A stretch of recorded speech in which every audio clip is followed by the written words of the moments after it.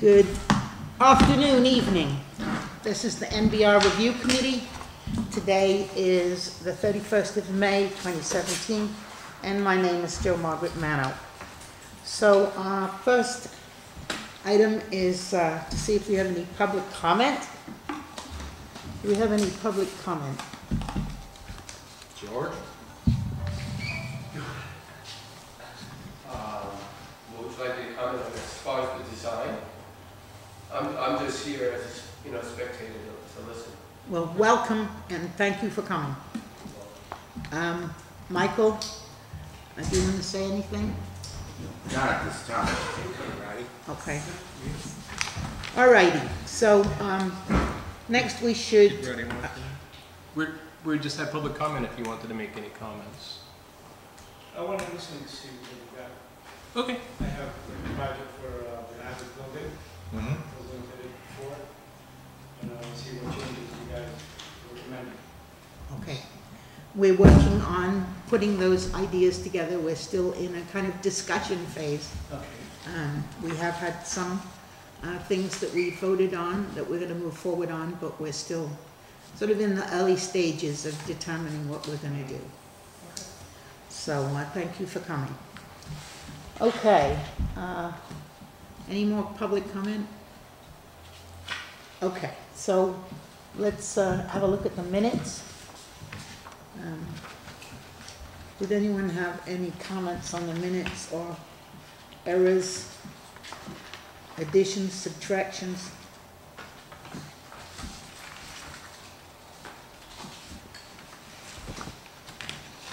Motion we approve the minutes? Um, second, Second. okay, all in favor? Aye.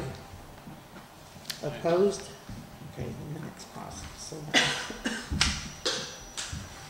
Okay, again, if somebody would like to just scratch down some notes for me, it's really helpful, um, for me to remember what I said. Okay, so I'm gonna actually, um, move the minutes around a bit, um, because, um, I wanna just talk about the parking requirements first, because, uh, I said I would go back and, um, look at various things to do with the parking, because we were discussing exactly what the minimum should be. So I, I did some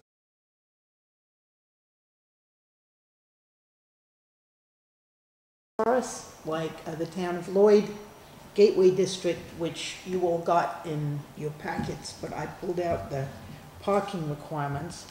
And also, um, the village of Rhinebeck, which has also been used as an example of a community we might want to aspire to be like. Um, So, um, I'll talk about their parking requirements.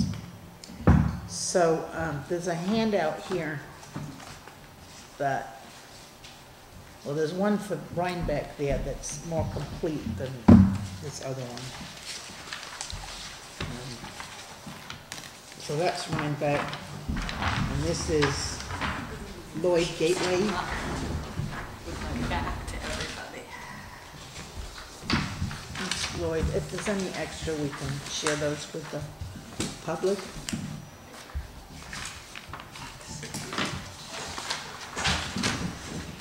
All right, don't take that one away, because that's, uh, that's the last of the Rhinebecks. Thank you. Okay. Oh, no, there's some more Rhinebecks over here. Okay, so when it comes to residential uses for multi-family dwellings, which is really what we're looking at here, right? Uh, Let's look at Rhinebeck first.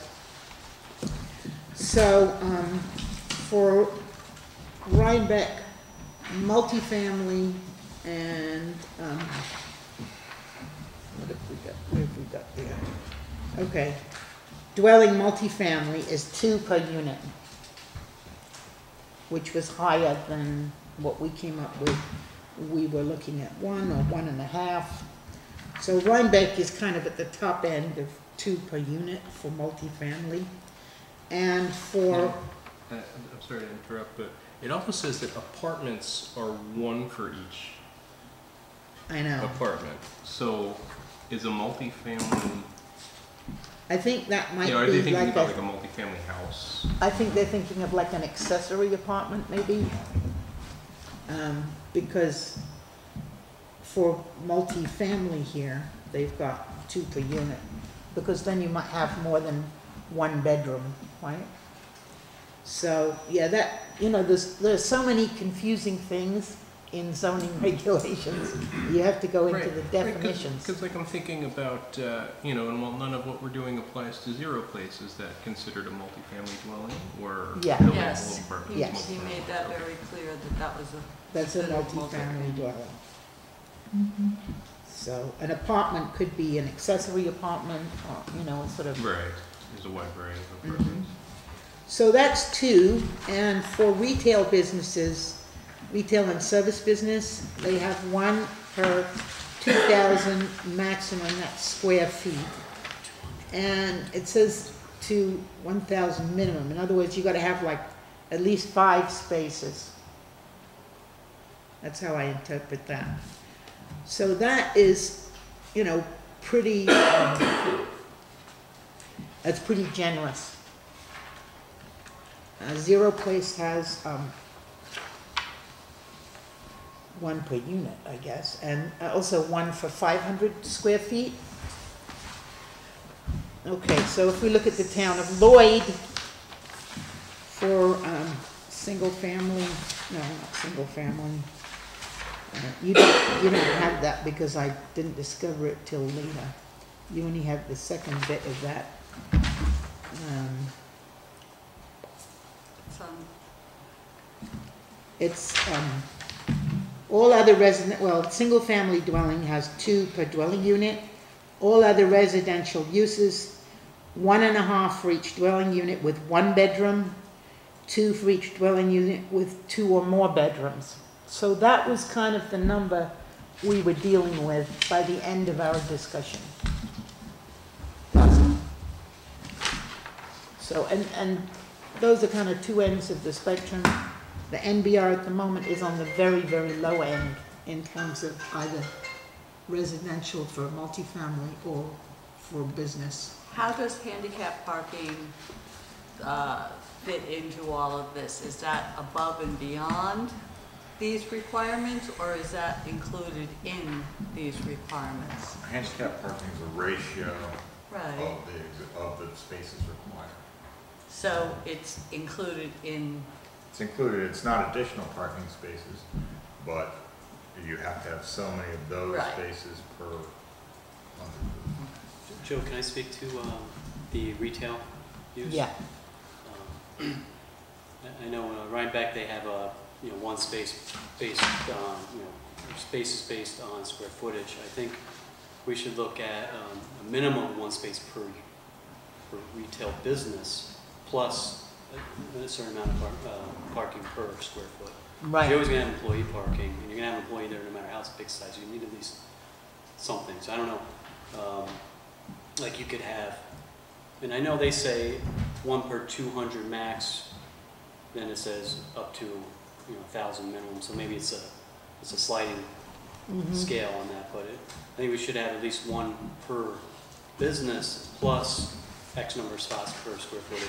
Because one could break it up into a lot of little shops, Yeah, Obviously, the load would be a lot higher than if it was just one big shop, I, I think, yeah. but, uh, just because you gotta factor employees in maybe. uh, And there's always a problem, you know, with the owner or the, the person who's running the business parking, you know, and taking up one of the spots that you want your customers to have. I know that one of the issues on Main Street is that, you know, for a long time, the business owners were parking on Main Street. I think now they have to move, but, um, that's a big issue.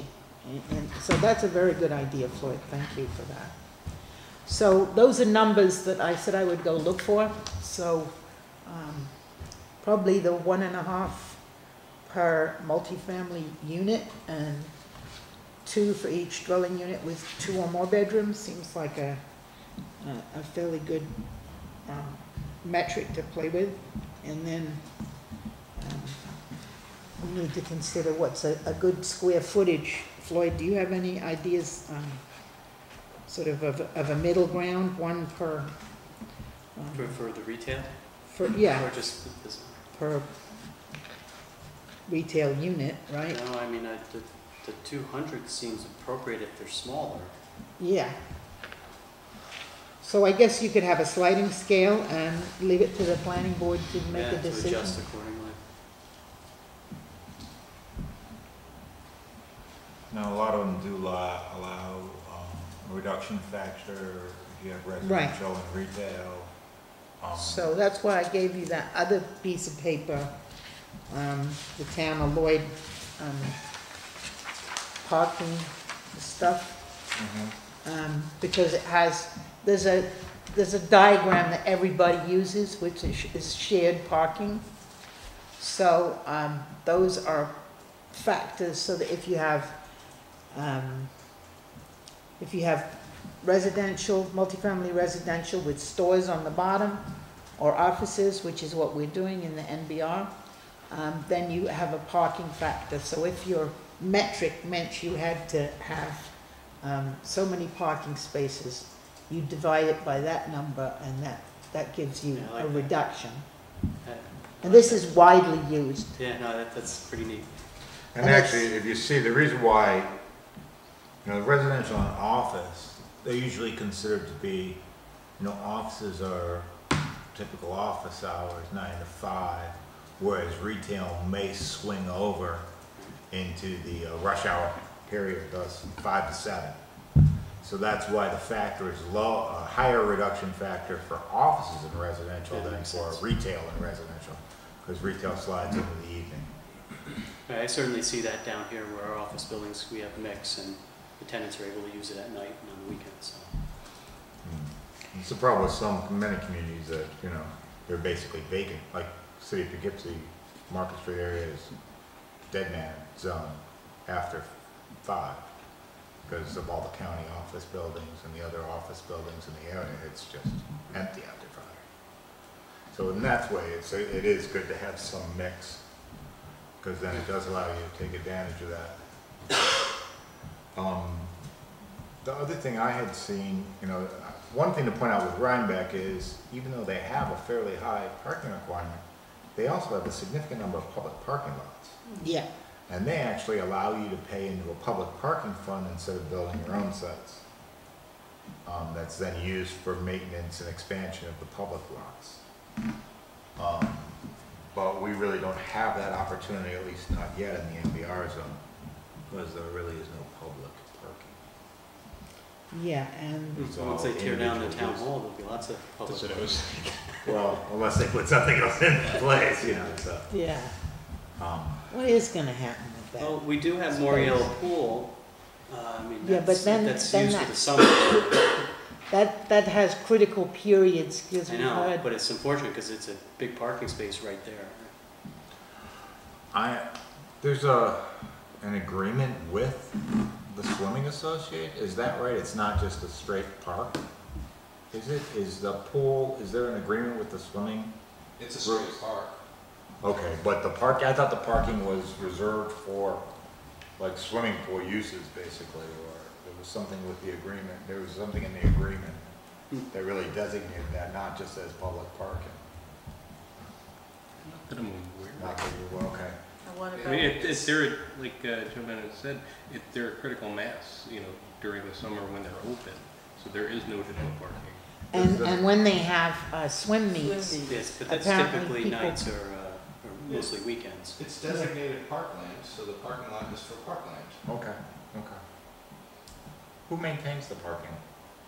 I'm just wondering, is it plowed in the winter? This is the big, the biggest question. I think it is plowed in the winter, but the town, uh, highway department maintains that property.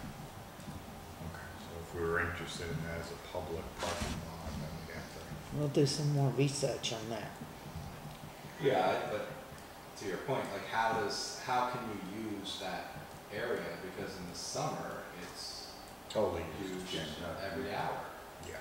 And you can just imagine if people get used to using that parking lot the rest of the year, and then all of a sudden the pool opens, it's gonna be. Well, and I think that's what happened during the DUS, SO meets. That it's- they used the parking lot extensively. And then when that got closed off, they were kind of all over the place. They use the parking lot. Okay, All time. They use, uh, the L parking lot at Mulberry Square Apartments. Yeah. Well, back then, the requirement, I think, was, uh, when when we built that, was two units per apartment, Two spaces per unit. which we have plenty of parking, too much parking. Yeah, you have too much Probably, parking in there. How many bedrooms are those units? They're all two-bedroom units, just fifty-six units, all two-bedroom.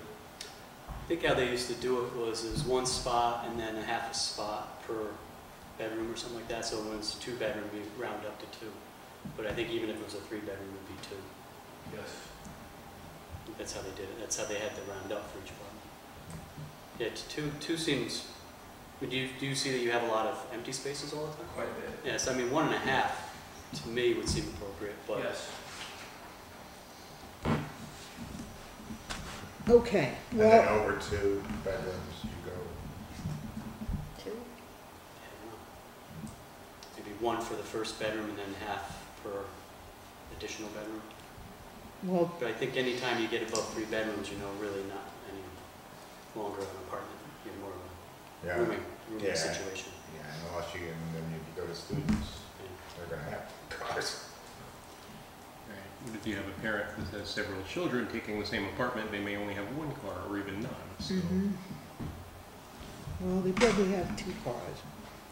Okay, so we're still doing research on that. We will not make any votes right now, but, you know, we're leaning towards one and a half per unit in uh, residential units and using a, a metric, um, a sliding scale for the retail plus at least one for the owner uh, or business manager or whatever. Are, are we restricting the use, I think right now it just says business uses in the current zoning, Yeah, it doesn't identify, I mean, I always pictured it as retail there. What retail, it I think says- office, Actually, what it says is that for general retail, yeah, you have one per five thousand square, or five hundred square feet. But any of the uses that have parking regulations in the rest of the, in the rest of the, the, the village, Yeah, like restaurants, sure, sure. the same parking requirements require in the NBR as in the other areas. So they only So- identified retail to give them a bonus, so to speak. it's just commercial If you go to a uses. restaurant, it's one, I think, one per three seats Yeah, in the So- restaurant. So not that I'm trying to change the topic to uses, but we only discussed retail as relates to parking. Should we discuss other business, use, commercial uses, or are we envisioning good question. restricting or limiting the, n- the types of uses? Because right now it's not limited, it just says, it basically just says commercial, right? Just says commercial. And, and then what it, but what it says is that you have to have a special use permit for any particular use. And then with that special use permit, when you name that use, the parking requirements that go with that use apply. Okay. So it's the same as for the rest of the village, for Sure. restaurants or anything like that, where it's a- not a general retail. But it allows any business use. But It they're says all commercial, special it, use. at the moment, the NBR has, um, parking guidelines. A, residential uses 0.5 space per bedroom. And B, commercial uses one space for every five hundred feet of net interior floor space. I think we should, uh, for the residential part, le- ha- it should, so if it's 0.5 per bedroom, do they have to round up per apartment? Or are they saying twenty apartment, twenty-one bedroom apartments is ten spaces? I think it's just per bedroom, that's what it says in So the, if there's twenty bedrooms in the place, That's the way it was, the way it was applied for Zero Place, which is the only example we have. right, right. Is that one-bedroom apartments only required half a space, Yes, yes. and that two-bedroom apartments required one space. I think that's unrealistic. I think there should be a roundup. I think There should that's be a what- rounding going on, like, oh, or something. I don't mind the combining, but I just uh, think Yes. the overall number is too. Right, right. I, I would say come up with a number and then do the, the factor to combine for shared pay spaces. And then and then you, then you route 'Cause I, I from think, there. I- I mean, I think we'd be unrealistic to say a one-bedroom apartments, the person's not gonna own a car. I mean, or every other person's gonna have a car. Yeah. I don't know, but then, then again, how many one-bedroom apartments are gonna be built? 'Cause it seems like two bedrooms are much more popular. Yeah, and I, I think the, the goal was to encourage, Yeah, limit the number of parking, but you have to respond to demand, not necessarily right, the other goal. way around.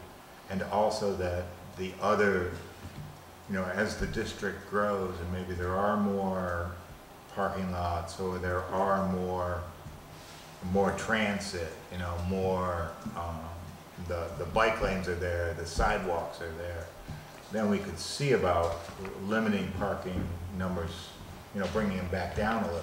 Right. But to go with the raw space that we have now have that low of a parking number, I think is just unrealistic. And then certainly reducing the number of parking spaces helps whoever's developing the property to, to not have the need to go as many floors, which is what we're concerned about, having floors above three. So allowing less parking spaces allows them to have more square footage to work with as a footprint, which potentially bring them. Unfortunately, it really goes, it's a two-edged sword. Yeah, true. Because, you know, zero places the four, and it makes it a smaller building with more s- floor Right. space Good point, and, and then more room to provide more parking. right, So it's a really a double-edged sword. When you have this type of district where so much is left up to site plan and special use permit, you know, it, it, it's hard to really look at what's gonna happen, you know, with the parking lot numbers and with the, right. the spaces, all we can do is try and provide what we think is right. And then the buildings will have to be adjusted based on that. Uh, Just, just one other quick thing about um, having to follow the special use uh, guidelines. My memory uh, is correct, not all uses have special uh, use guidelines. There's like a, the general, and then there's specifics, and not many of them have specific ones. Most of the time, it's general, especially if currently they're mostly principally permitted uses. They're not going to have anything. At the moment, there are no principal permitted uses. That's- No, I'm just saying. In NBR, in- in yeah, the- in the- overall, In the yeah. overall code. Oh, yeah. Yeah, like there might be, uh, Yeah. retail may never be special, I mean, I don't know. I Well, it- well, I think the, the code in general tried to say, you know, uses that we don't think are requiring more than the average number of spaces, we just leave in retail. But if it's a specific use, like a restaurant, where there's, can be a real expectation of certain number of people based on your number of tables, um, it makes a lot of sense to have a, s- Yeah. a special parking standard just for that. Yeah. Okay, so we will revisit this because it's a, it's a tricky number. And also we need to look at, you know, the uses and maybe circle back through that. So, um, I did some homework. I'll keep doing more homework. I'll find out about Moriello Pool and how that relates to things. Um, And Yeah, and we'll I- I come back looked to at making recommendations. Some of the other villages in Dutchess, like the Village of Fishkill and Village of Millbrook, and, you know, it was really all over the place. Millbrook was two per unit, I think, and plus more for a bedroom, so, you know, it was really high. Whereas Fishkill was a little lower, because I think they're used to more the multifamily units. Mhm. But I believe that a lot of them do do one per unit and then plus for bedrooms, or each bedroom or additional bedrooms over one. Okay, I think we all agree that 0.5 of a bedroom is too low though. Yeah. Okay. Okay. So, um, I'd really like to talk about setbacks and then we can go look at the Behan, um, draft. Um, But in the light of that, um, number six. Um, Number six is um, something I sent you all um, at the very beginning of our um, research into this. Um, I sent you all the town of Lloyd walkway district, district regulations, and uh, we will be revisiting that again, um, as we move forward as a, a useful, um, template for what we might do. Because, um, that was actually suggested by Dennis Doyle in the Ulster County Planning Board when, um, the NBR was initially submitted to them, um, in October twenty fifteen. And, and this is, um, the Ulster County Planning Board recommendation. I've probably sent this to you before, but, um, it's part of a redacted packet and agenda with the village board, um, public records from ten twenty-eight fifteen. So, um, it includes the discussion, uh, supporting the idea of a mixed-use corridor and um, the idea of uh, all the permitted land use is going through the special permitting process. They point out that um, that's kind of burdensome for the planning board, which we found out. Um, And it says, uh, the UCPB recommends the village utilize a review process that's less onerous to developers by changing some permitted uses into principally permitted ones and only subject to site plan review. And if you turn over the second page, says the Ulster County Planning Board also supports as a means of adding transparency and clearly identifying desired outcomes for the district to village officials, residents and developers alike, the future development of a form-based code for the district, if not the entire village. So, um, and it suggests, under form-based code, the village of New Paltz should consider developing a form-based code. The example from the town of, Lloyd and their walkway gateway zoning district is attached. So, um, we'll be revisiting that, and the person who suggested that, um, we should ask Dennis Doyle what he thought about, um, what we were doing, I said, well, he kind of already made that statement back in 2015. And so Bill Murray was the one who um, suggested, you know, that we um, consider that. And I said, oh, yeah, well, that's been done. So good thought. So we will be um, borrowing some of the ideas as we move forward. Because uh, we've run out of money for our planning consultant, so we're gonna try and uh, put together our suggestions and hopefully a skeleton code. And the mayor and I talked about this today. Um, So that's the, that's the way forward.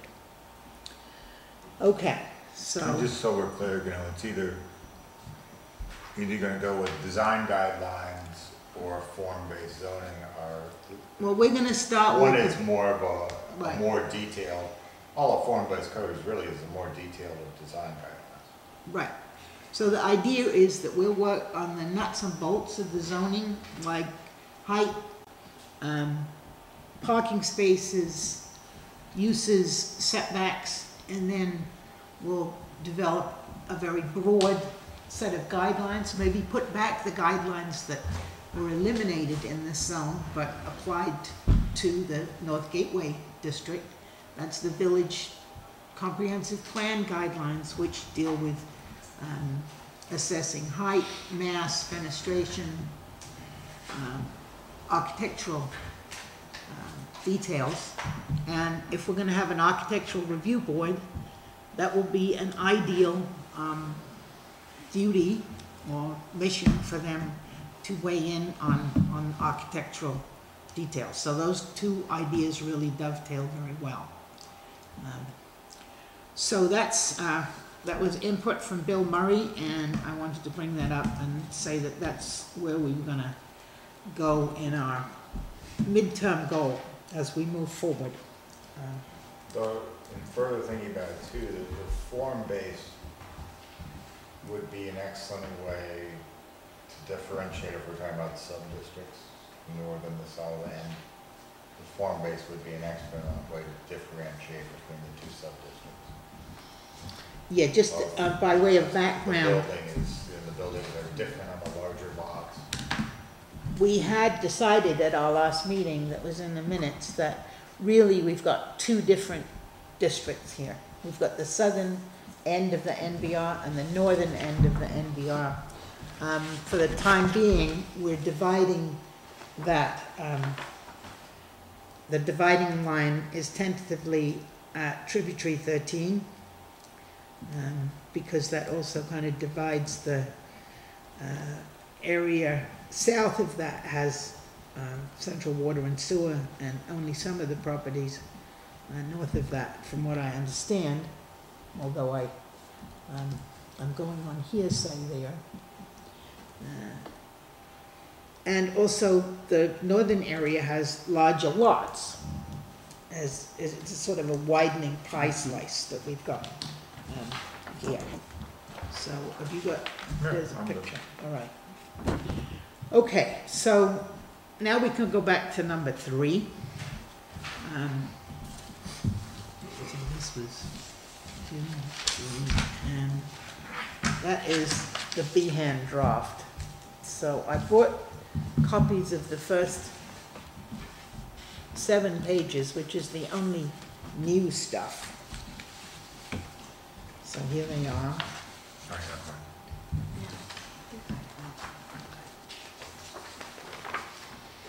This is just the first seven pages.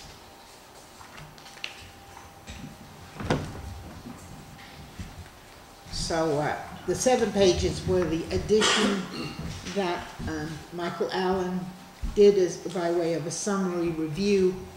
Before this, we had, uh, a two-page review that was just giving sort of general ideas of where we were going, and this one is developed to a much more detailed level and um, giving us the district recommendations. So, it starts with looking at what the existing zoning is. Um, And then the second page gives us the zoning map, which is always helpful to have on hand.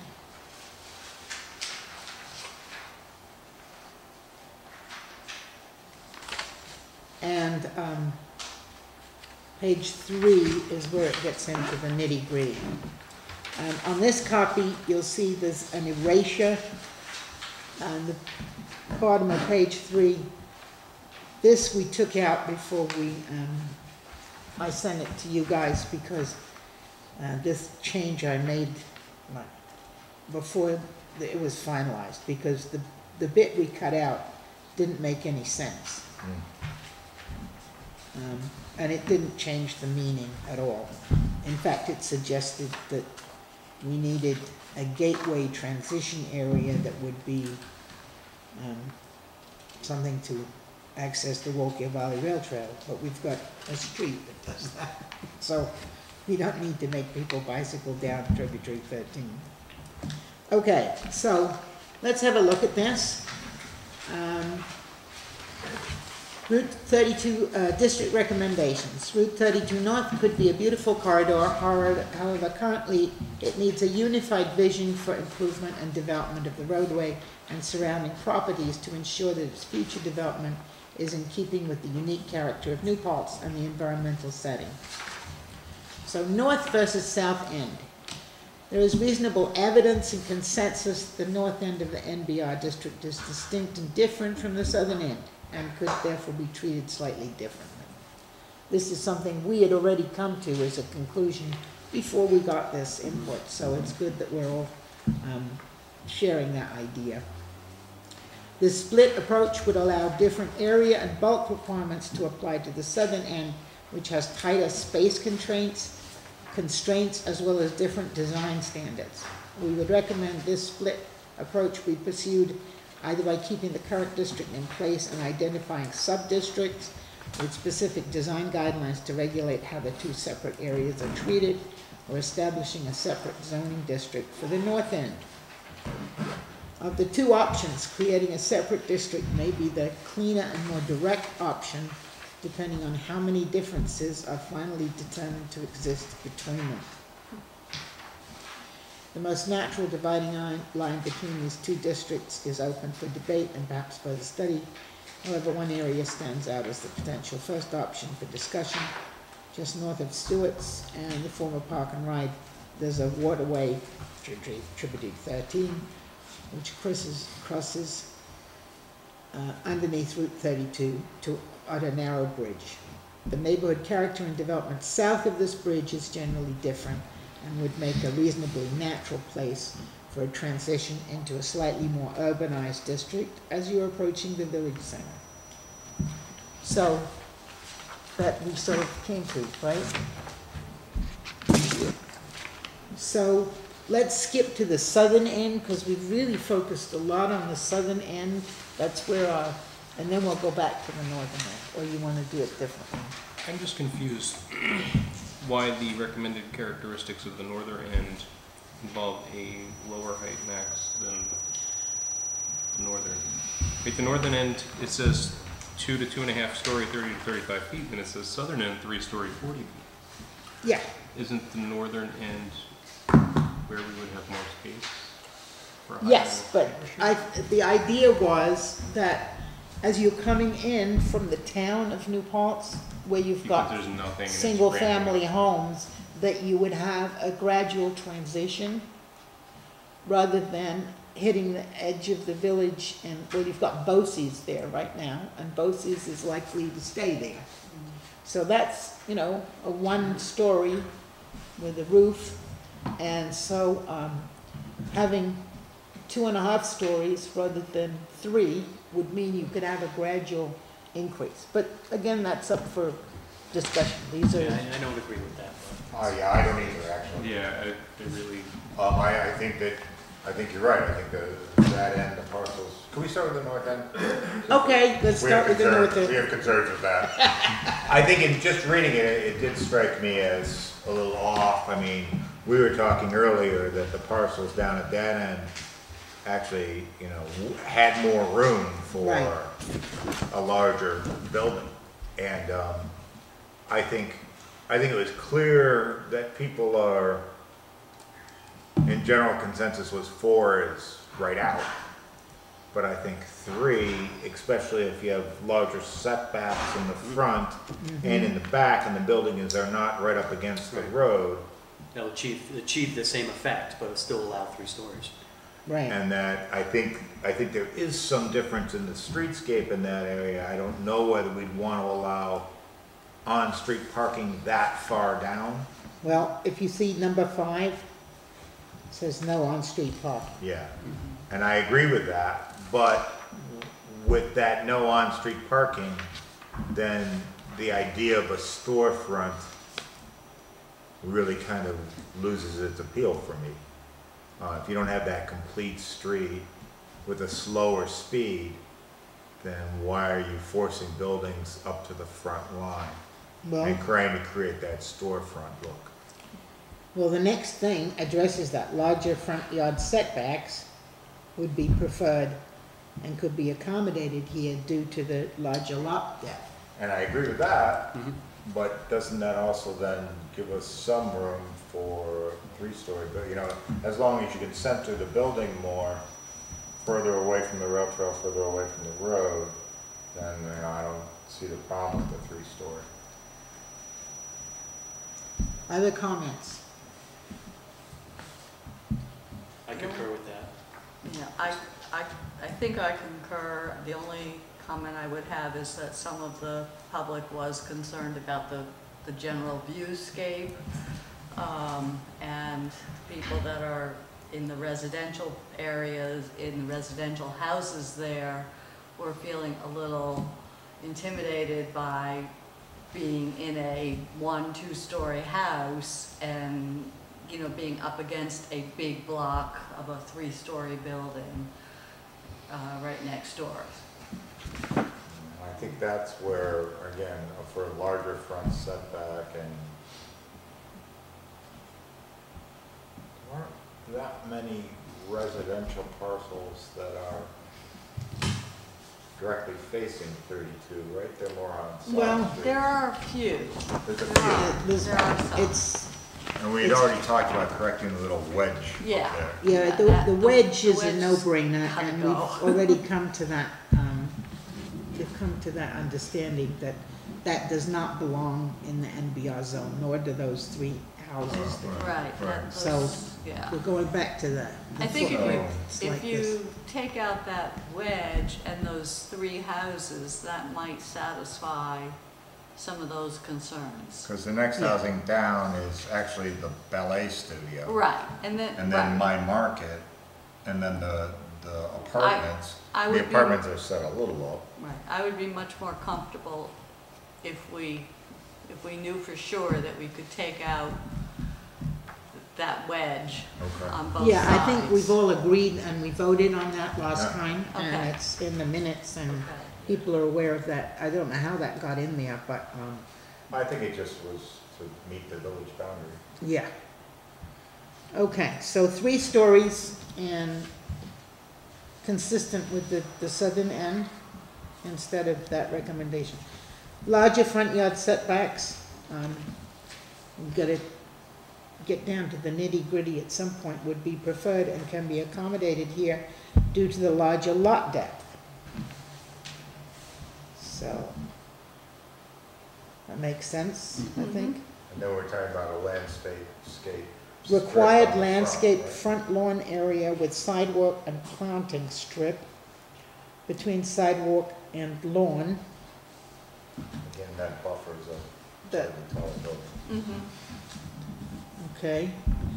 Some limited convenience parking should be allowed in the front yard with low landscape screening. However, the remainder of the parking would be required in the side or rear. That concerns me a little. Um, I'm trying to envision that. Again, what I was thinking on that was, just gets the building a little bit further off the road. So, you know, you're just coming into this new zone, you're entering the village, you see that the buildings are taller, but they're set back a bit. And so as long as you have that landscape strip, then if you have a row of parking, it- again, it just further sets back the building. And I don't have a problem with that personally. Uh, Sort of related to that, uh, on the north end, and I don't see it listed, I think we should require some interconnecting, so people don't have to go out on the road and then turn back in if they want to go from one shop to the next. And that Oh, might yeah. work with the side parking lots. So we would have some coordination, you know, if someone wanted to be on the left side, the next property probably wanted to be on the right side, so it'd be easy to connect. So we might want to put some kind of language. I think To that. that's um, addressed. um, Okay, I didn't see it shared- north. Shared parking, um, Okay. shared access is addressed a little bit later. Okay. And that, that makes total Yeah, sense. Definitely on the north end, for sure. Yeah, So to reduce the curb cuts and, you know, shared um, access between adjacent properties if possible, to minimize the curb cuts. And the Um, existing zoning allows a zero side lot line if you're doing adjacent parking. Yeah, If it's two adjacent parking lots, you Yeah, can that's go great. right to the line Yeah, and then sure. pretty much one. Except then- that if the property's not developed next to it, how do you make that judgment? Well, It's- yeah, it's you're really, relying if you're on going someone- in next to an adjacent Yeah. that has it, yeah. Yeah, but you also want to be able to do it. you know, That's a, that's a good point, though, yeah. When does that come into play? Michael has a There, question. there for Steve. have been some work done on things like what they call parking improvement districts. Okay, could you come up to the table and talk into a mic? Okay. Thank you, because I want to Sure. engage you on Sorry. the next thing. Okay. Um, there have been developments of uh, what's called parking improvement districts, where they have interconnected parking lots, and they have to create like a separate entity uh, to handle the liabilities that may or may not exist. And we have right now in New Paltz, we have a substantial amount of traffic that has to go from McDonald's to now the Tops Plaza, which is no, they're right there. And so the creation of those kinds of zones can be accomplished. Uh, There's been a lot of work on that in other towns and stuff like that. And certainly we need to set some examples here. We can do it right now with the zoning and then try to backwardly do it to the rest of New Paltz. But that would be a really ideal thing to have. Uh, This is Michael Reed from the Wallkill Valley Rail Trail, And I wanted your input on our next um, item here. Um, No on-street parking. Bike lanes would be accommodated on each side of the two-lane roadway. Um, Where, which, uh, this is in, uh, page Which is six. north end, North page end. Five, four. Page four. Number Four. five. Page four, number Page four. five. So, um, at some point in here, it gives like the exact footage you need to have, um, the bike lanes and Yeah, that's further on, actually, I was gonna comment number about that. sixteen, yeah. Yeah. Number sixteen on page six. And they started off with that caveat, although not within the scope of the zoning analysis, and then they jump right off the bridge. Okay, Um, They yeah. seem, they seemingly eliminated the fact that uh, Route 32 is a state bike route, and that many parts of it are, in fact, eight feet in width further north, uh, in Rosendale, parts of Kingston. The bike lanes. The bike, well, the bike lane, yes, Yeah. part of that state bike route. Um, I know that DOT has been asked to take a look at a number of places right at 213 where the bridge is. There's, right now, there's a a guardrail that wraps around it and completely eliminates access to the protected lane that exists adjacent to the bridge. And it's just been brought to their attention, and it's, they have no answer for why it's there. And then that further, as you go north, that guardrail just goes all along and really cuts off any ability for a bicyclist to use the route or for trimming or anything to be done on the, on the side. So they've kind of eliminated their own bike route um, by some kind of a fencing requirement or whatever, whatever they did, or why they put the guardrail there is un- unknown, but. So Okay. anyway, in answer So to what- your question what here, about, um, this- I- this thing I is- need to know if these Usually the numbers guardrails are, work. guide rails are approaching the bridge so that, because the worst thing they would see is you get off the road and you bounce off the bridge and go out into space and then drop down the creek. So that's why they have that guide rail wraparound. It's to prevent you from actually missing the bridge. right, but the wrap, the Yeah. wraparound continues around 50 feet down thir- uh, to 13. Yeah, it's DOT safety engineers are. Well, right here, they just have, they have an attached sidewalk on our new bridge, and you can now bicycle right adjacent to the bridge. And It's the time the bridges were built and who the engineer was. They're all individual projects. That's the. Anyway. That's a problem. That, that is a problem, because it is, because right now you have to ride on the bridge, and there's not an adequate width. Um, Anyway, uh, this discussion here is kind of complicated because they seemingly don't recognize that uh, 32 is a bike route. Well, that's why we're doing this, Okay, yeah. because, um. Because as given the proximity of the Wallkill Valley Rail Trail, duplicate bike paths may, here may not be necessary, which is they're not That's exactly right. duplicate because They're, they're going different places. yeah, You might as well say that, you know, Huguenot Street is a duplicate road, where in the F-32 you could eliminate Huguenot Street, because they're going to the same places, so why not eliminate one of them? They don't. no, so that's why we're doing this, because as before with the, the, the, the sentence that I cut out, which made no sense, because the consultant isn't nearly as familiar with this place Right. as we are, that's why. Well, you know, that, that the caveat at the beginning tells you all, although not within the scope, then eliminate this, you know, this whole Okay. caveat. All right, well, what I do want you to tell us, though, is what are the, the footages that are needed, um, in order to do a complete streets approach? What are the footage requirements? Yeah, so it, it says Total here, a fifty-five foot right-of-way for this area could include two six-foot sidewalks, Right, two eight-inch wide on-street parking eight foot, eight foot Sorry, wide eight on-street foot. parking. and two 12-foot lanes of traffic, 52 feet total. Um, But they're eliminating a safe bike lane. That's what I was thinking. That's exactly what this is suggesting, you know. So, Again, and this is between Stewart's and Broadview only. Because they're only talking about the southern border of the Right. district. Right, so you're talking about from Mulberry, is that correct? Yeah, Yeah, but we wanna do complete streets Right. approach for the whole corridor, so, We're going Problem from is, Henry W. uh, Woods. what's the width when you hit, when you go past Brodhead. Brodhead? yeah. Mean, that's a problem. It has a, well, there's historical use.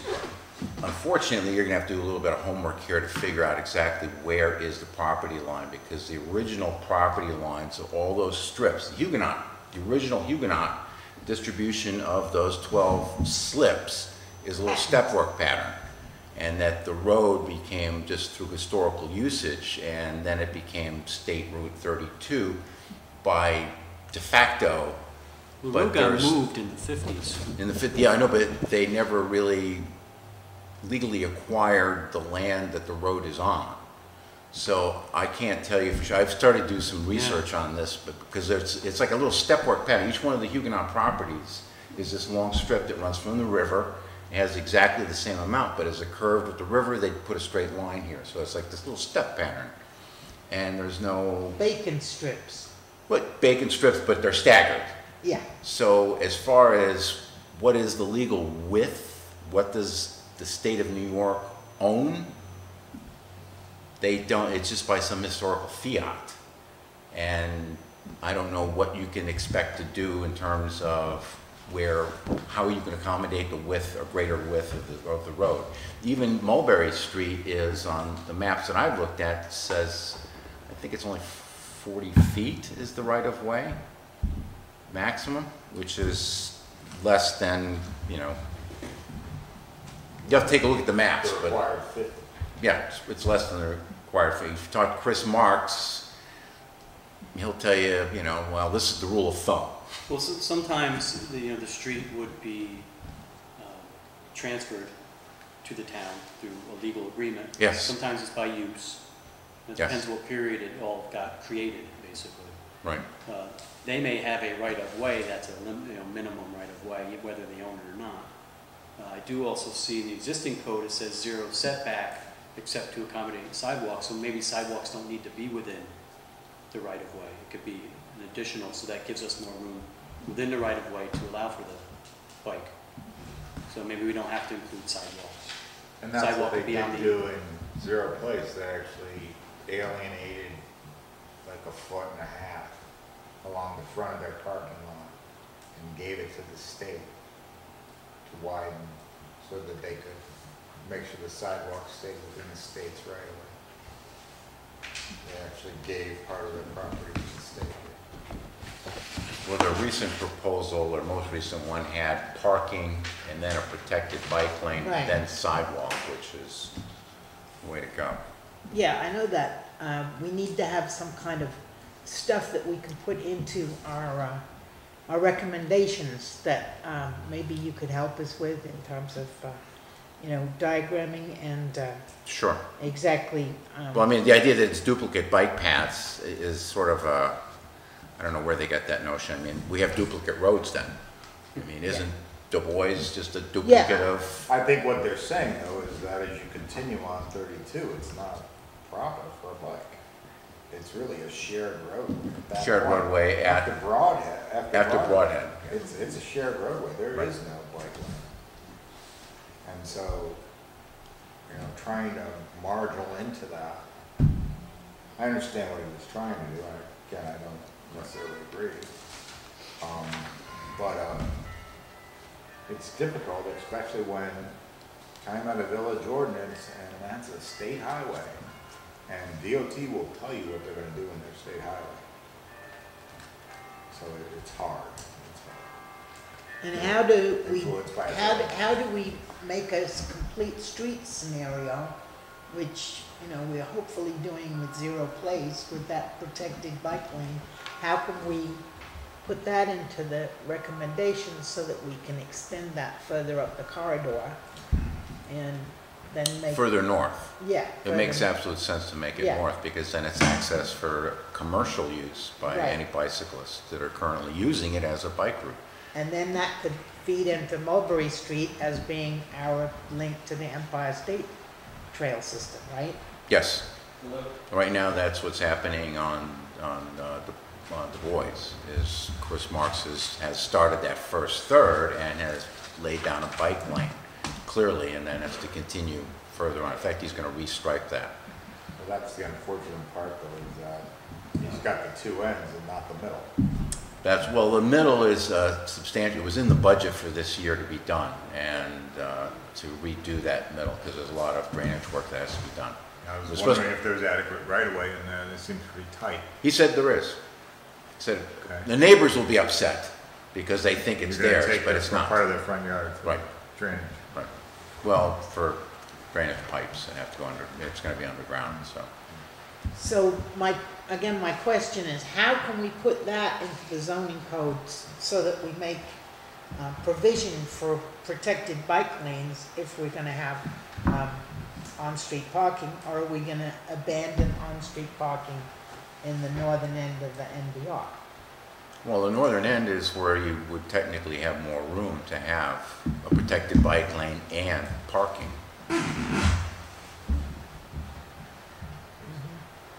You know, we run into a real conflict with sidewalks also, because we had, uh, we had the bike ped committee here, and we had our police chief here, and the question came up about, you know, riding bicycles on the sidewalk.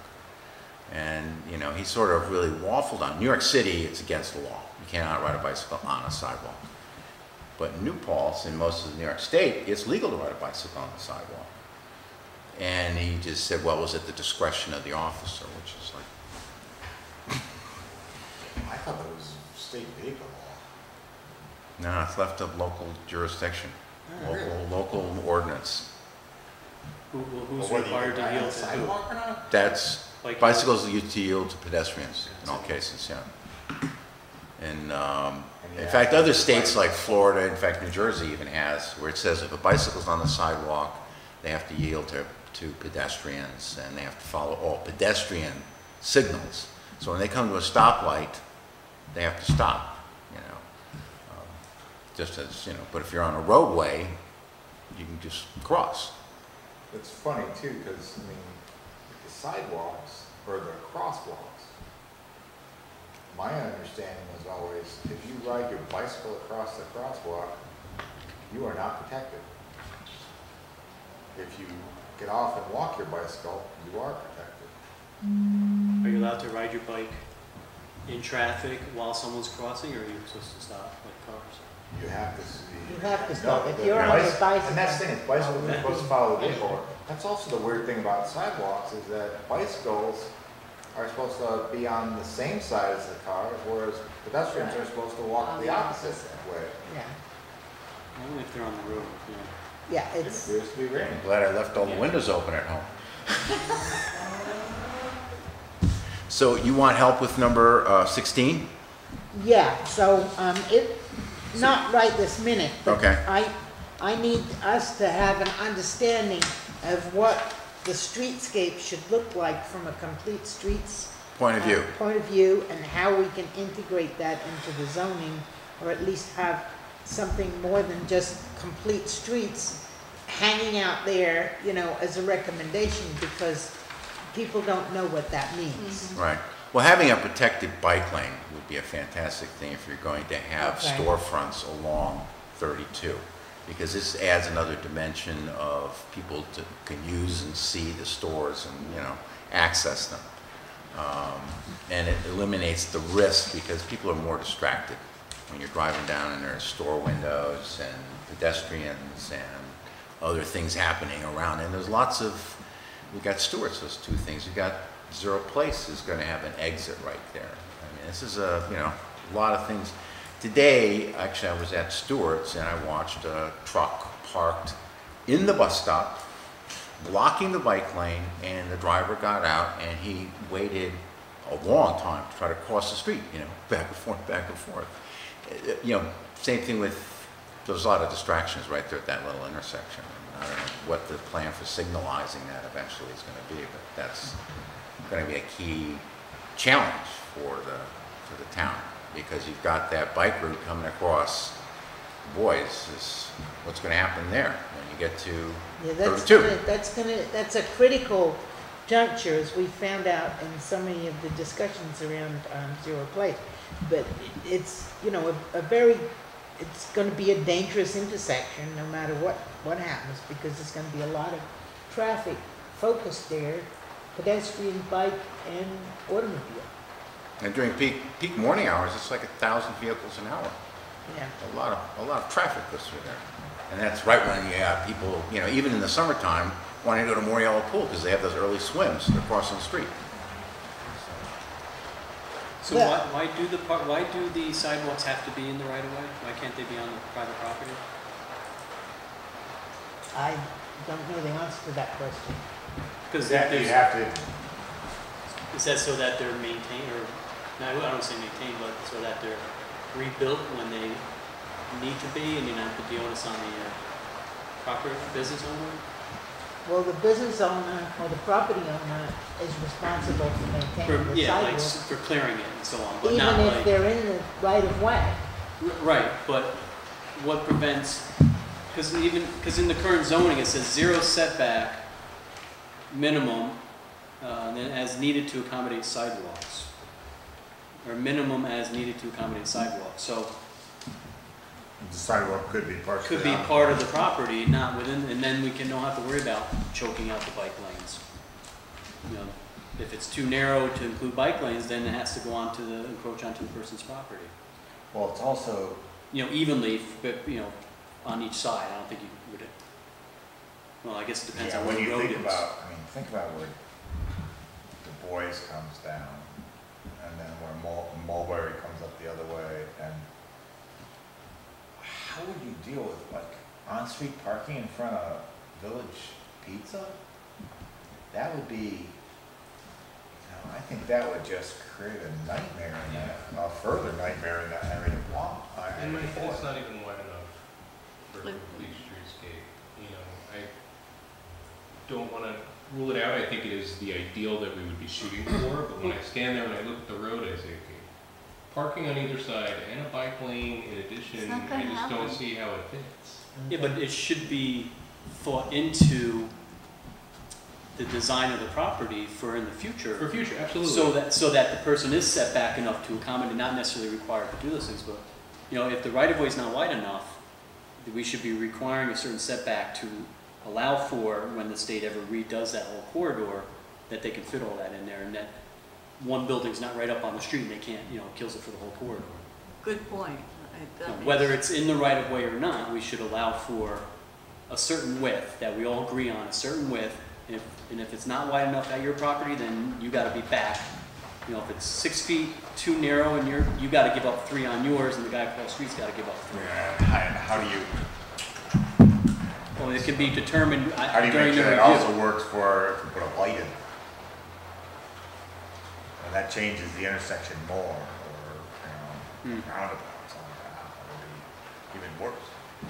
Actually, that was the earlier proposal from 2006, was to put in a Put a- roundabout there at uh, Du. Bois and 32. Well, if you notice the property that was developed on the, uh, north side of Dubois in thirty-two, there was actually that front area, uh, was left as a grass stream, because they were thinking they were gonna need a right turn lane at some point. So there's actually, if you notice, the property's got a little bit of a Right. setback in that area, so if a right turn lane was ever needed, they would have room to get it Yeah, in there. DOT calls it channelizing. If you're a bicycle, it's called cannibalizing, because you're the guy that's gonna get hit. Because people are turning right, so they're looking to their left. They don't, they don't even see the guy on the sidewalk coming. Anyway, Okay, so that's a certain challenge. The other question that I want your input on while we've got you here is the um, idea of access to the rail trail. Um, At the moment, in the current NBR, um, there's a suggestion in there that properties should have access to the rail trail um, so that if businesses are located on the rail trail, they would want an access to the rail trail. And I don't know if that's something that you welcome or don't. Well, ask the uh, New York State Thruway Authority if they want a little more access on 87 for all the businesses that are between Newburgh and New Paltz, and then New Paltz to Kingston. That's the same thing. You end up with 17 in New Jersey eventually, you know, because the usage of the rail trail is, you know, it's, it's, it is a route, it's recreational use, it's also transportation, active transportation. So people, bicyclists and runners, joggers, walkers, use it on a regular basis. But once you start opening it up, I mean, like City of Kingston, where they're doing the Green Line stuff, you know, they're limiting the access to where there's street crossings, which is the logical place to have it. Um, You know, putting a bunch of people with their cell phones, uh, checking out the restaurant reviews, standing in the middle of the path, you have the Water Street Market, which is. Water Street Market actually is, um, is a classic bad example. Um, it's got all this so-called access, unless you're a person with a stroller, a person on a bicycle, unless you're handicapped. None of it is handicap compliant. You got three sets of steps, no railings. You know, if you try to build a house without a railing with more than two steps, you get the building inspector out there right away. And it's got a, uh, I think it's like a 14 degree slope down from that, and the pebble strewn is the uh, sloped access that between the two businesses, right where the cheese store is and I the, the, the what you call it, the uh, antique place. But it's like, it's, I've seen people slip and fall right in that spot. So I mean, it's like, it's, to me, it's a bunch of liabilities and no HD or ADA compliant route from the rail trail. So then who's the access really for? Or how does it really work? The business owners aren't really too keen on having two doors to watch. In fact, you know, I mean, they'd like to have, you know, the balcony, which is use, but not have patrons walking out, walking out of the store with something and, you know, hightailing on the rail trail, so. Would it make sense to identify access points so that there's only like two or three? But how would we, how would we stick owners with that? Like you have to have the access point? Because it is a long stretch from, Yeah, Yeah, it's a I long mean, stretch. Right, It's like right. you need it. You you do, you know, do you need it or do So you not? suppose, Vice you versa. know, But th- then you have the, the Then you're additional gonna have thing people of cutting through the woods. people are gonna come through, but then you have the homeowners that live along, you know, they have nice residential properties along Huguenot Street, and then you have, you know, people coming out of a bar at two in the morning onto the rail trail, even though it's technically not supposed to be open to use, that's what you have. So then you create a noise factor, you know, I don't, And I think it changes the, the whole, what the rail trail Yeah. is mainly used Sure. for, once you start opening it up to. and you have Mulberry I- I- here, I I hear you, but I, you have I just Mul- assumed that's what people wanted, because. I don't think so. Maybe because I'm thinking of the park and ride and there's access there, and I did, wasn't Zero Place having access also, so I just thought it was something that. well, they were asking for additional access, which doesn't make any sense, because they're fifty feet from Mulberry Street. Right, right. So what's the point? I mean, you have, you have Mulberry Street, and then you have where Huguenot crosses at the park, at the, uh, what you call it, the, um, uh, the golf course, is one mile. So how far do you have to go? Should you have an access point in the middle somewhere, or that's something to be? We dis- should, we should be clear in the code if it's one or the other. yeah, Because it's gonna be hodgepodge and then it's, Right, I think it would make sense to have one mid-block public access. The Property, problem is, we don't own any property there, so we'd have to get someone to give us. Maybe somewhere near uh, tributary thirteen would make sense since you can't. well, build- I, I, I would look you at, Can't build up against it. I look at the crossings between, you know, I think we've got plenty of, you know, Brodhead and Mulberry are close. And Zero Place is talking about two axes on that. So then the problem is south of that, or north of that. Yeah, The next south is access, not a the problem. next Huguenot access is, is Bosse's. What about, uh, does this, who owns Gateway? Is that a private industry or is that county? I think it's a pri- private nonprofit. Yeah, I was Gateway. gonna say, that would be an ideal, that seems to be like almost the halfway. What Gateway would be, and they might be someone who would be approachable. Right, right, right, I, The other thing is, you gotta remember, we're gonna need a bridge there because of the stream. All those properties are cut off from the rail trail by the stream. right, Hmm, And I don't think we want a stream, we don't want a bridge on every property. no, we don't. Well, then you change the nature of, of the Change whole the nature of experience. rail trail, but then Exactly. also, those bridges all come out, all have to come out of the village side, and they're all gonna come on to village property. So does the village want the liability of? Oh, right, yes, you're right, yes. yeah. You know, you look at, you look at Zero Places Bridge, it's a wooden bridge, it's up and down, it's not handicap accessible, at least it's not ADA. The one, that bridge, To the old park and ride. the old park and ride, yeah, that That's not an ADA handicapped No. bridge. And then it's also wood where, I tell you, it's real slick in the rain. yeah. I- Or I- even if it's wet, it's real slick. I, I think it does make sense after you're hearing all this. I just assumed people wanted access. I just had that in my head, access that, but I, it makes sense. Um, But if everyone's agreeable, it does seem to make sense, maybe the midway point, we could identify that property or properties in the midway point, or just say we'll work on an agreement with Gateway Industries. It seems to be the middle ground place. Is that gonna sell and become a developed property anytime soon? Who knows, but hmm. either we say no or, or at least have one. I, I think we Or have you to think about also what it might turn into. I mean, if it, say, say we pick Gateway Right. and then they sell and they become a, uh, Pub. a pub, right, a no twenty-four bar. hour Or a roller open- skating place. Yeah, No bars in the zone.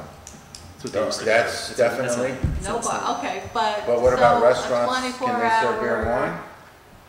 Up until Yeah. midnight. Up Hmm? until Midnight. midnight, As long but as, they have to have food too. that's the way they do it is, is the, you just have to keep the kitchen open. So, by the way, McGillicuddy's is a a restaurant, not a bar.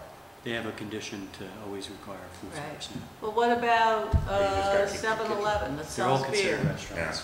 That could be open, Twenty-four 24. seven, mobile is, and that's Right. one of the problems Exactly. we have actually That's- right. Well, we can from- limit hours too in this district, which maybe we can. We have Yeah, someone who but- wants to develop a property right on the rail trail. Well, and I wants think to have that's something access that's With a deli, important. twenty-four hour deli. Not because of the rail trail, but because of the residential properties on the backside, we should limit hours of operation. I, I, And I don't think that's addressed right now in the current code. no. no. So it- I think that is important to Yeah, limit. And I think you- that could You be can, because we always try to, because everyone that came to the planning board always said they were a restaurant, even though they were a bar. And we tried to limit their hours of operation two o'clock, and it worked for a few, like Barnaby's, they agreed to it, because if you're a restaurant, you don't mind closing at two. But I think maybe the hours of operation should be some, a little more stricter than two. You know, Restaurant doesn't need to stay open after midnight. If they So- really so- are. Uh, so say I, so say me. But because of the residential properties, I think certainly there needs to be that. Yeah. And that's- Well, and, and the fact that the rail trail is dawn to dusk. Yeah, and The it's, rail trail is only legally Oh, so accessed from useful, dawn to right, dusk. Right. Right. and it's also a mile from Mulberry to, to Huguenot, or, you know, right by the golf course. So we're not talking like people have to go a long distance to Yeah, but- access the That's why trail. I'm thinking. Well, if they're But you walking, do have to, mm-hmm. that's yeah. a, I I mean, mean, it's not just people on bikes, it's also people walking. Yeah, yeah, but I mean, the idea that you didn't want to walk half a mile to get on a twenty-six mile rail trail. It's like, Right. I, I mean, I'm sort of you're not, having you're a not using perplexity it, though. there. You're thinking of long-term, you know, you're thinking of long distance on the rail trail. The rail trail is also being used for local transportation. Yeah, circulation. And And so, short walks, like walking the dog around the block. and, you know, in a zoning par- parlance, which is one of the reasons I kind of, I have questions with the NBR. Normally, we consider that the, the normal human will not walk, walk farther than a quarter mile Yeah. for anything. Well, actually, there's, That's it's a the, little different size than that. Well, what I'm telling you That's from me. a zoning perspective. Yeah, I know. From I a, know. a business and a. But, but historically, Oh, the, yeah. the, I'm the more like an eighth circumference of a of mile. all habitations we're- from Neolithic. what We're- planners we're already do way now, out if of you're doing a The walk village by score, more than a quarter mile. and you can do walk scores for, you know, access to transit. The walk score is based on a quarter mile, um, being the, the limiting factor. That's as far as people are usually prepared to walk. And one should have a park within a quarter mile as well. But you're trying to evolve people a little bit more towards this We're more supposed to have- pedestrian-friendly, bike-friendly environment. We environment. were supposed to have a bench within like five hundred feet of any parking lot. Just a place for people to rest because that's how far cer- certain people can walk. But, uh, I, I would say one act, I think we could work as the village, maybe not even part of this. In this, in the zoning, we're saying we're limiting access to the rail trail. The intent is to have one public access At access, some point, one additional public access on the yeah, link. somewhere mid. midway. Potentially gated or no? We can say, you know, open dawn to dusk, and then someone's gotta go close it, but the rest of the rail trail isn't closed. I, yeah, I Yeah, just, There are no crossings. How can it be closed? yeah. So, I, I, I, I would push Might wanna talk to the police department a little bit and One. ask their, get their kind of, the police commission, you know, Yeah. input, you know, of how much additional access they want on a trail. I mean, because if you go to the northern, the southern end, I'm sorry, uh, and you're going from, uh, from right at, uh, what, the end of Plains Road, then goes all the way to Old Fort. So there's, there's quite a, you know, that's a, that's an equivalent distance, and there's no right, additional access. but again, that's not Yeah, but that's not, at the high-density corridor of the Right. village Right. development. You know, this is gonna be the new high-density corridor, so. and it already is a pretty high-density corridor. Okay, let's, um, move on to number eight on the southern end, which is also a Wallkill Valley Rail Trail issue. Um, different, um, setbacks. Eight says existing vegetation. Yes. Uh, this is page I got it. Uh, Existing vegetation along the Wallkill Valley Rail Trail should be preserved where possible in lieu of replacement with new plantings. Specific standards for the new screening between park areas and Wallkill Valley Rail Trail adjacent historic neighborhoods should include attractive fencing and thick evergreen plantings to mitigate light, noise, debris. Where possible, the new plantings or screening should not replace existing vegetation, but should augment it. How do you feel about that? um, Well, uh, pretty good. Uh, Christy DeBoer and myself are trying to organize a rail trail summit with all the owners because we have the town of Gardiner, the the village and town of New Paltz, and then the land trust owns this other huge section, and that little piece is owned by Williams Lake, and then trying to get some kind of agreement on how do we, how do we deal with this kind of thing about access, you know? My feeling for people whose backyards are on the rail trail, you should be allowed to go to the rail trail, but I understand the village ordinance actually prohibits that on, along Huguenot Street, you're not mm-hmm. allowed to have access. So that's, but, you know, people personally accessing their backyard is not a problem. It's when we have parking lots and, you know, bars and, or convenience stores that sell beer, and people just, you know, drifting onto the rail trail. I mean, I know people on Huguenot Street see beer cans and things like that, All so trying to limit that usage as much as possible. And right here at Town and Country is another, just sort of this hodgepodge of stuff, and behind the post office, and that's where litter, a ton of litter turns up, and that's when we have our annual cleanup. Most of the garbage comes from right there. Yep. Between, you know, It's also the only place we've ever had assault, where you have what? assaults. assaults. So Behind the Assault. post office? Yeah, it's always Yeah. been like that down there since I was a Um. Shady area. So I'm, I'm asking for That's where I hung input in terms of the recommendation of um, that screening and augmenting vegetation rather than replacing it. Is, is that uh, wording that, that you feel is appropriate? And that's, I'm opening that up to other people too. How, how do you, when you have a three-story building, what, are we requiring something to some minimum height or certain These are the caliper? questions I'm. Every- Yeah, I mean, that's, because you're only gonna create something that, uh, maybe you don't see the cars, but once you get above the first story, there's nothing you can do unless you're putting mature, or trees that are Right. there to grow high, or Right, otherwise you're only dealing with the bottom third. right. This is on the rail trail Yeah. side, I'm thinking now. Yeah, Um, so we need to have like a footage of, a distance. And, um, there've been suggestions to do a percentage of the lot in the northern area, but I don't think that works. So what, we need to come up with, you know, a number or numbers that would provide us with a greater setback on the Wallkill Valley Rail Trail side than necessarily on the Route thirty-two side. I think we sort of came to that general agreement. What do you think about? Should be interesting to be able to relate it to the building height. Or That makes a usage. huge difference in the perspective you have of the buildings. You know, like one of the interests, one of the questions we have is zero places. And the building is forty feet off the rail trail and forty-five feet tall. Right, you could say minimum setback, say twenty feet, um, greater based on, or or something related to the height of the Relate building. to. Up to the height of the building. Yeah. Minimum twenty, up to the height of the building, so the planning board can say, all right, you're forty, or thirty-five foot building, we feel thirty-five feet's more appropriate. And you could put parking in there, Yeah, right, but not the building. So you're really creating a building envelope. And again, that gives us the ability the form-based zoning to kind of create those building envelopes so that we get a good distance from the road and a good distance from the trail. right, we should be clear what is allowed within the setback and what is not allowed in the setback, and what counts as lot coverage, what does not count as lot coverage, it's not clear in the code.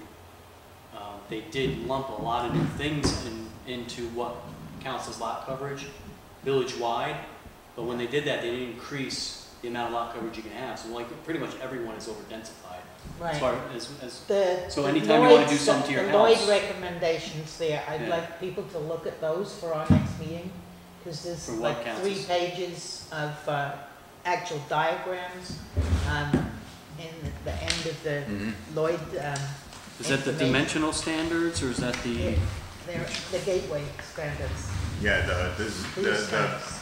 actually, the, Right, I got. that both of is, those, both that of is the, that is form-based zoning. That's what that is. You're creating really building envelope, uh, associated amenities envelope, and then, you know, so you have, your parking could be so close to the lot line, your building has to be so much Right, further. okay, good, good, good. I'm not familiar with form-based, it's new to me. Yeah, I'm, I'm more used to word-based right, right, and having to, you know, right. it's like reading a book versus seeing a movie, you know? It's- But it is an excellent idea, especially I think for the northern end, because you can then kind of say, okay, well, I'm gonna give you this space to put your building in. Here you can put your cars, this is your setback on the Wallkill Valley Rail Yeah. Trail side. This is where you have to be on the Route thirty-two. The thing is, then it clarifies It's so the clean, yeah. information for the developer, And the planning board. for the planning board, and for the public. Yep. Rather than everything being, um, at the moment, it's like, show us something and we'll decide if we Right. like it, which is not, Fair. not nimble at all. The other advantage there is if you're gonna do any of these, uh, service roads or connections in between parking lots, all of a sudden, if everybody's kinda got their buildings in the same place, then you can make those connections Sure. between parking I love lots. those connections. Whereas if yeah. one is up front and one is in back, how do you put a service road through? Right, So it, it does, I mean, it goes to a lot of the things that we're looking to do, I think, especially in the northern end. I mean, that, that southern end, I think, is really constrained. Yeah, that's where we have the biggest challenges. Okay, well, we have reached the end of our time here, so I'd like a motion to, uh, next week, we're gonna continue doing this, we're gonna, you know, circle back to the things we need to decide on, uh, do a little homework and look at the, um, Lloyd thing that I've supplied to you, because, um, we're gonna use that as a sort of template, um, to go forth. do we know what Lloyd, you, were, have you talked to anyone at Lloyd to know the background to this? Maybe they got it from a source also, maybe we could look at where They they got help it? with, basically Scenic Hudson gave them a lot of help on it. Okay. and Dyson paid for a lot of it because of the walkway. It'd be nice to It's see because of the walkway. how they arrived at it, because we may want to diverge in some spots. So at least it- Exactly. At least makes us think about certain things. Jeff Anzevino from Scenic Hudson did a lot of the See the work. on Hudson, it. yeah. Okay. Both sides, Poughkeepsie and Lloyd. I'd like a motion to adjourn. Second. I'll make that motion. Okay. Dennis will second. Do you want me to get back to you on any kind of uh, revision of number 16? It says although not within the scope of the zoning. Yes, that's what I was hoping you would say. Okay, that's, yeah, I was actually, was sort of typing it while you were talking before because I thought, what the heck? Yeah, so please, any help you can give us, because Yeah. you're our bike ped expert, and we really appreciate that. Well, So Christie and I need everyone to vote to adjourn the Oh. meeting. Aye. Yeah. Aye. Thank you very much. Thank you.